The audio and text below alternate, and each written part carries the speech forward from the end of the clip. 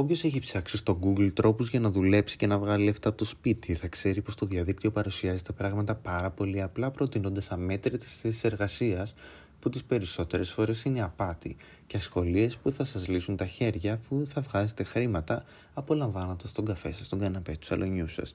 Υπάρχουν όμως πράγματι ορισμένοι πιο πρακτικοί και δημιουργικοί τρόποι με τους οποίους θα μπορέσετε να εξασφαλίσετε ένα επιπλέον εισόδημα. Νούμερο 5. Πουλήστε το ταλέντο σας. Σας αρέσει να φτιάχνετε ρούχα, αξεσουάρ και ηρωποιητά κοσμήματα; Τότε έχετε την ευκαιρία να προωθήσετε τα προϊόντα σας και να δημιουργήσετε το δικό σας brand name.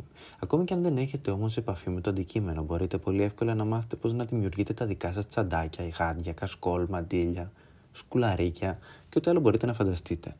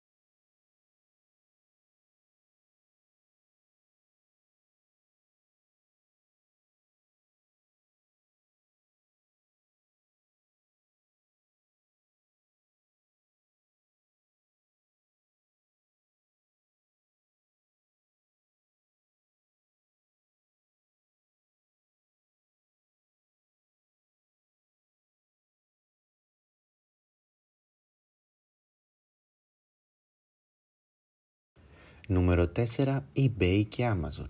Μήπως ήρθε η ώρα να υλοποιήσετε επιτέλους το ξεκαθάρισμα που πάντα λέγατε ότι θα κάνετε στα πράγματά σας; Βρείτε τα πράγματα που δεν χρησιμοποιείτε και ούτε πρόκειται να ξαναχρησιμοποιήσετε και βάλετε τα προσπόληση στο eBay ή στο Amazon. Φυσικά να είναι σε καλή κατάσταση. Τα συγκεκριμένα sites έχουν κυριολεκτικά τα πάντα και το αγοραστικό κοινό αναζητά και εκείνη ό,τι μπορεί να φανταστείτε. Οπότε μην αγνοήσετε ούτε τα διακοσμητικά του σπιτιού σας και αν δεν θα μάθετε ποτέ να πλέκετε και δεν σκοπεύετε να μάθετε στο κοντινό μέλλον ούτε τις βελόνες του πλεξίματος που βρήκατε σε ένα παλιό κουτί. Πουλήστε τα και θα με θυμηθείτε. Νούμερο 3. Επενδύστε στην ακίνητη περιουσία. Αν δεν το έχετε κάνει ήδη, πρέπει να ξέρετε πως υπάρχουν δεκάδες τρόποι για να εκμεταλλευτείτε την ακίνητη περιουσία. Τα εξοχικά σπίτια, τα δεύτερα σπίτια, οι γκαρσονιέρες, τα γκαράζ, ακόμη και αποθήκη που δεν έχετε χρησιμοποιήσει ποτέ στη ζωή σας, μπορούν να φανούν πολύ χρήσιμα αν θέλετε να έχετε ένα έξτρα μηνιαίο εισόδημα.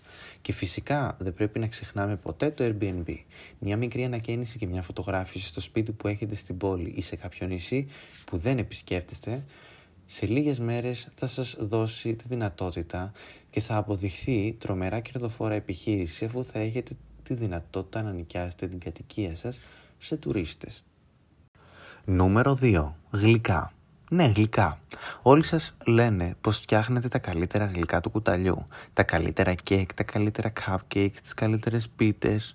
Γιατί να είστε εγωιστές και να τα κρατάτε μόνο για τους γνωστούς ή τον εαυτό σας; Βρείτε ένα όνομα για τα προϊόντα σας, σχεδιάστε τις συσκευασίες, βρείτε ένα καλό πελατολόγιο και προωθήστε τη δουλειά σας μέσω ενός blog. Και εσείς θα βγάζετε χρήματα κάνοντας αυτό που σας αρέσει και ο κόσμος θα απολαμβάνει τα λαχταριστά γλυκά σας.